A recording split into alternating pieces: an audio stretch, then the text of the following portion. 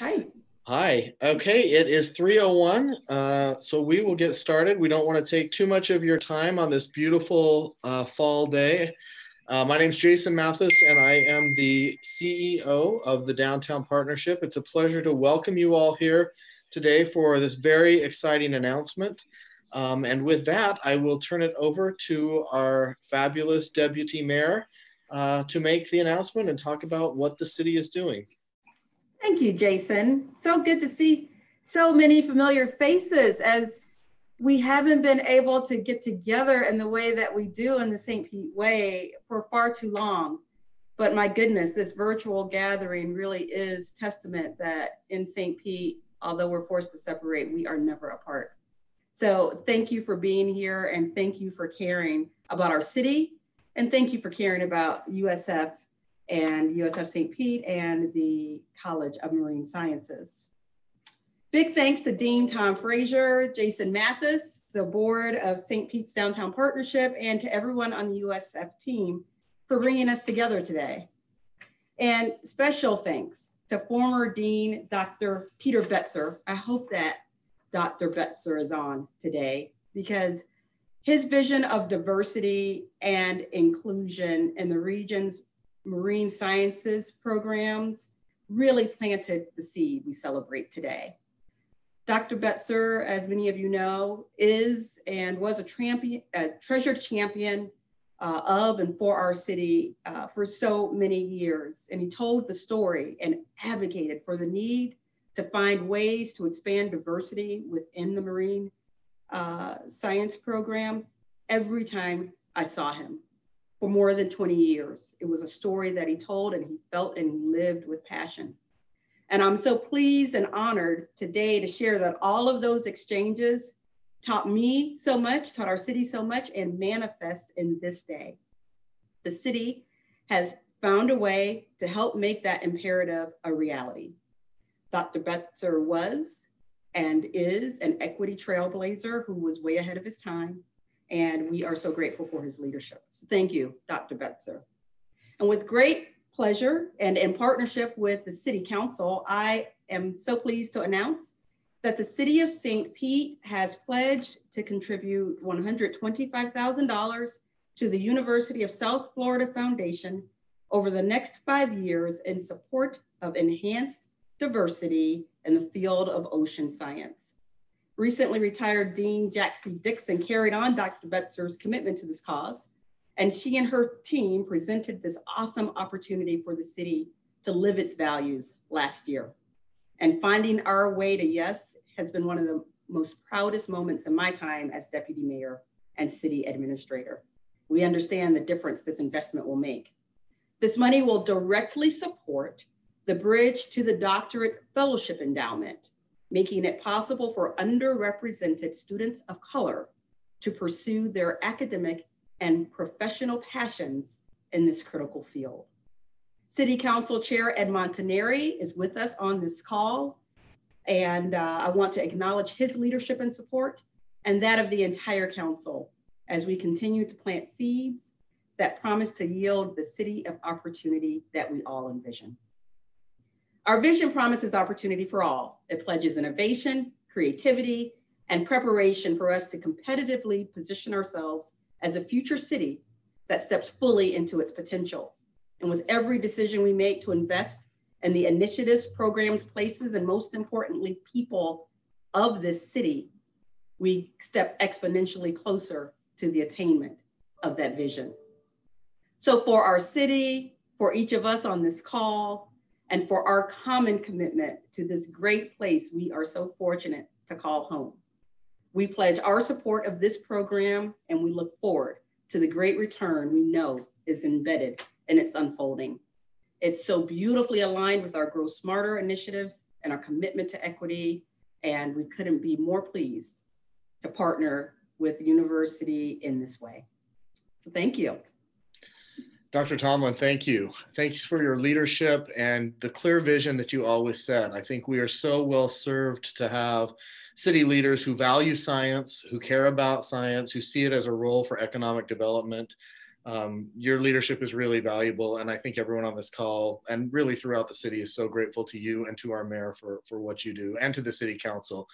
You're an amazing team and we are fortunate to, to have you all in your positions. Um, this, this partnership really is the culmination of some really important things that we care about. Higher ed, innovation, technology, and equity. It's a perfect complement to the values that underscore St. Petersburg. Uh, and with that, I'm going to introduce one of the newest community members in St. Petersburg, Dean Tom Frazer, who's going to talk about what this program will do and what this means. Wow, thanks, Jason, and, and to the Downtown Partnership for hosting and, and helping us to, to shine a light really on the city's uh, very generous gift, you know, um, to, to the College of Marine Science. It's, it's, it represents so much more to me than simply an, an infusion of cash into a, a, graduate program at the university. Um, it's, it's really speaks to, uh, as, as the, um, Dr. Tomalin said, to the value of diversity and inclusion. It's about recognizing and investing in academic uh, excellence. It's about, you know, more specifically, it's about um, the importance of investing in, in science, education, and technology, right, for societal benefit. Um, it's about creating opportunities, uh, capturing, uh, cultivating the intellectual curiosity uh, and intellectual capacity that exists not only in our local communities, but more broadly. It's a, it's a statement about St. Petersburg, about who we are. You know, I'm new, but collectively, uh, you know, I'm trying to wrap my hands around that, who we are and, and what we aspire to be. So, uh, you know, I thanks to everybody for, for being on this call. And uh, as uh, Dr. Thomas said, you know, um, Peter Betzer was a, a, key player here, and, and, I would like to echo some of the things that she said. You know, as the founding dean of the College uh, of Marine Science, you know, he's uh, had a long-standing effort in, in, promoting diversity in the ocean sciences arena, uh, in STEM fields more broadly, right? Um, for more than 20 years, you know, he had, I guess more than 20 years ago, he really had the foresight uh, and the initiative to embark on a very ambitious uh, fundraising campaign to establish and grow the Bridge to Doctorate Endowment. You know, the, the downtown partnership with significant support from the city's business community, right? The Tampa Bay Times and, and a number of other donors uh, were instrumental in, in launching and growing this endowment. And I want to recognize all of the donors, you know, to the College of Marine Science and the university who are celebrating with us here today. Again, thank you for being here um, and generously supporting our, our work for the years. I think the Bridge to Doctorate is uh, one of, it's a very highly visible complement uh, to the university's broader portfolio, portfolio excuse me, of uh, diversity focused initiatives, uh, their commitment to equity in education, and uh, a strong track record of success. You know, I think we're all proud to be part of that. Um, the minority fellowship and mentoring programs that, that Peter Betzer and, uh, you know, his predecessor, uh, his, uh, the folks that came after him, Dr. Uh, Dixon, uh, Bill Hogarth, and others, you know, they helped bring uh, to U.S. and during their tenure uh, significant programs, and they're having an impact. The college, in fact, today leverages more than six uh, funding streams that I know, right, that help support underrepresented students. And in fact, many of those students I know are on this call today. And again, I appreciate you for being here, uh, for continuing to advocate for the college and its programs and engaging in the community. That's super important to me and it's super important to, I know everybody here. Um, you know, it's, it's worth noting, I think that the College of Marine Science uh, in partnership with the College of Engineering uh, in recent years has garnered more than $8 million from the National Science Foundation and an additional $4 million from the Sloan Foundation uh, to uh, uh, provide support for underrepresented students in our academic programs. You know, in fact, th those funds have supported at least 150 underrepresented um, uh, minority uh, doctoral scholars. That's, that's a lot of students, right? But that funding is going to be ending in 2023. And so the, the university has kind of embarked uh, on another fundraising initiative to continue their support of uh, minority graduate students um, and to expand diversity in the nation's uh, STEM workforce. So I'm excited about that. But, but why it's particularly important to the college and, and why does it matter now? Those are questions I think that kind of deserve a little attention. And, and I would say, I would go back to the beginnings because we're committed, you know, as are our partners in, in the city of St. Petersburg to leading the way, right? Uh, we're committed to creating a pipeline for younger students to be introduced to and encouraged to uh, pursue careers in the, in the STEM fields through pro, uh, our programs we have like Guardians of the Gulf, uh, Oceanography Camp for Girls, the Spoonbill Bowl, and, and a whole suite of uh, other educational initiatives. And I think we're doing a really good job on that front. And I want to introduce you uh, now to Dr. Karina Rosario she's a former Bridge to Doctorate recipient, to tell us a little bit uh, about her experience with the program. But before I do that, I just want to let you know that Dr. Rosario, who's originally from Puerto Rico, graduated from the program in 2010, right? And she's a, uh, now a research scientist in, in Dr. Maya Breitbart's uh, marine genomics lab in the college and, and, a very successful one at that. I don't think she's going to tutor her own horn that much, right? But uh, as an example, I'd say that, you know, she recently crafted her own NSF grant um, that for nearly a million dollars to look at viruses and invertebrates. And, and that's undoubtedly way more than the investment that she ever received with regard to her, her fellowship. And, and that's the type of return that we're looking for, right? And so I, I could go on for, for a long time about her accomplishments, but uh, Karina, if you're on the line, I'm gonna let you say a few words. Thanks, St. Frazer, and happy Friday to everyone. I'm excited to be here to celebrate, you know, this announcement for this special gift to CMS for the BTD Fellowship. And first of all, I just want to say from personal experience to everyone involved in making this happen that you are changing students' life by providing a whole new world of opportunities. Like the dean said, I am from Puerto Rico. I'm a microbiologist by training, and I wasn't really thinking about my PhD until I met some USF students from underrepresented group, I mean, underrepresented groups, and Catherine Bailey, I see her there because she was part of that group. Um, and they told me about CMS and how they had this wonderful fellowship called BD that will help me cover my PhD and how many of them were recruited through the fellowship. And I really needed to check it out. And I did. Um, fortunately, because thanks to BD, the PhD became a, a reality for me. And for sure is what brought me to CMS. On paper, BDE provides financial support, but to me, it's more than that. It highlighted that the college believed in me, that I had something to contribute to this community. And they believed that so much that they were willing to invest in me, and that goes a long way. Um, one of the special things about CMS that I see is this close relationship with the city of St. Pete. And as exemplified by today's announcement, it's not only the college, but the community that cares about student success and building a more diverse and um, diverse and um, inclusive scientific force, which is crucial. I joined uh, CMS to study viruses in environmental samples with Dr. Maya Breitbart. And these days, I think there's an understanding that we can't be looking at viruses only in humans. We need to be looking at them in animals and, and environmental reservoirs if we want to safeguard public, animal, and environmental health. And I've been hunting for viruses with Dr. Breitbart since 2006, so a long time, first as a student and now as a research scientist.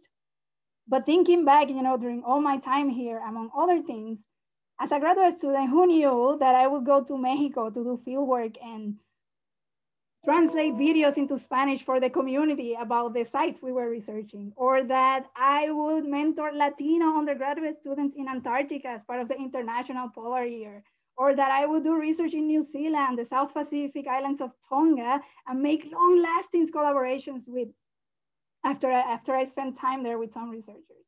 And that as a postdoc, I would write a successful grant that would allow me to go back home to Puerto Rico and do some outreach activities with students there in a rural school. And in the end, you know, that CMS will become a long-term home for me. I am extremely grateful for all the doors that BD opened for me. And I'm so excited to hear that the city is invested in supporting more students that will be able to take advantage of the BD fellowship. Please know that these fellowships mean the world to some login students. Please know that. I thank you from the bottom of my heart to all of you who invested your time, your talents, and your vision to make this gift happen. So thank you so much. I mean, Karina, I'm just, we're lucky to have you, man. thanks, for, thanks for being here. Uh, I think that was great. I mean, thanks for taking the time to share uh, your story with us. And I know it's only a small part of it, but it, it means a lot. Um, you know, and before I hand this back to Jason, I just wanted again to say thanks to Dr. Tomalin and, and the city. I mean, it, it's it's a really special gift, and you know, I I appreciate it a lot. I know everybody at the college and the university does, and again, the, the community.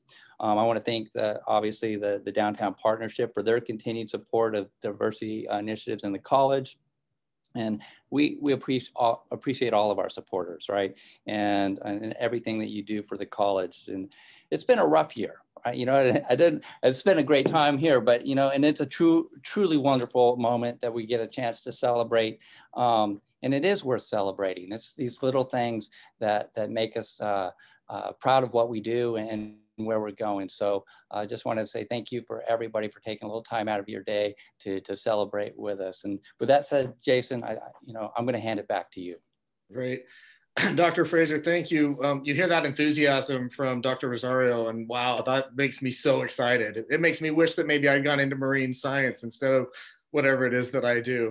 Um, Dr. Frazer, thank you. Thank you to all of your predecessors, Peter Betzer, Bill Hogarth, Jackie Dixon. Each one has contributed so much to this college. And uh, I just wanted to give the last word to our deputy mayor, uh, Kanika Tomalin, who is the reason that the city's contribution is the reason that we've all come here today to celebrate. So Dr. Tomalin. Thank you, Jason. Thank you, Dr. Frazer and everyone. And I just wanted to close with part of the reason this is so critically important to me personally. I noticed that Paul Tash was on the call and I was very fortunate and I grew up here in St. Petersburg and was selected as a Poynter Scholar. And the Poynter Institute and Times Publishing invested in my education and fully funded my undergraduate degree and gave me the opportunity to work uh, at the St. Pete Times uh, as an intern, set the trajectory and the course of my life, and exponentially changed it forever. And so, supporting education in this very uh, fundamental way is a part of our DNA here in this city. And I just didn't want to miss this opportunity to publicly say to Mr. Tash, thank you uh, for that investment and to encourage all of us to look for ways to invest in education to support the College of Marine Science and to um, invest in the dreams of students and help them understand their possibilities and see greatness for them before they can see it for themselves. Thank you to the Times. Thank you to the university. Thank you to St. Pete for being so great. Fantastic. Well, with that, uh, kick off the weekend. Uh, this is a great way to launch the weekend. And thank you all so much for joining us for 19 minutes today for this very exciting announcement. I look forward to a day when we can celebrate face to face with alcohol. Have a wonderful, wonderful weekend. Thanks, Thanks. everybody. Kanika, good to see everybody. Thank you so Great much, everyone. everyone. Thank you all. Yeah. Thank you, Thanks, everyone. It was great. There's Regina. Yes, Dr. Hi, Bob. Dr. Betzer. Hey, Kanika, thank you so much. Oh, you're wonderful. You're wonderful. Yeah, that was great. Thank you. Hey, Dr. Other Dr. Betzer. thank you. and Ed Montanari, our chair of city council, I see him. Their partnership makes it all possible. Thank you for your leadership. Yeah. And you know, one of the first letters I wrote was to Paul Tash to try to get the endowment going. And they were they were the second donor to this whole project. So they've been an important part of this from the very beginning. It is what they do. Yeah, yes. it's great. And and thankfully they they helped you. yes. I'm ever grateful. We yeah. are too. Yeah. God and Carol, hi. And Bill. Peter. Oh, I just unmuted. Hi from Colorado. It's beautiful here too. Oh, okay. That's great. Hey, Scott. Thank you. Bernard. Uh, thank you, Bernard Batson, for joining us as well. Yeah. Oh, yeah, Bernard. Right. Bye-bye. Have a good day. Thank, Thank you, Robin. No one wants to leave. I know. I don't want to leave. All right. Bye-bye. Bye. Thanks, everyone.